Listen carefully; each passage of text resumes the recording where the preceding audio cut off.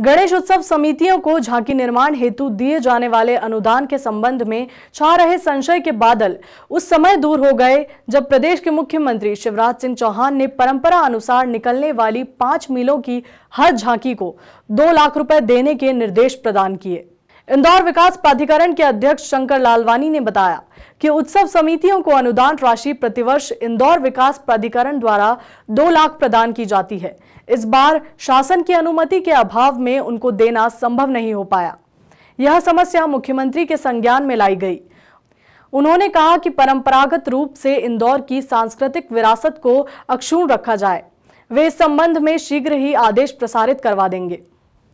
इंदौर की पुरानी परंपरा रही है अनंत चतुर्थी दिन झांकियों के निकलने की और पिछले कुछ वर्षों से जब मीलें बंद हो गई तो उसमें जो बादल छा गए थे निकलने की और इंदौर के सबने मिलकर ये निर्णय लिया था कि हम सब मिलकर चल समारोह को निकालेंगे। और उसमें सबसे बड़ा जो योगदान राशि का रहता है, वो इंदौर विकास प्राधिकरण का रहता है। इंदौर विकास प्राधिकरण प्रत्येक मिल को दो लाख रुपए अनुदान के रूप में देती है।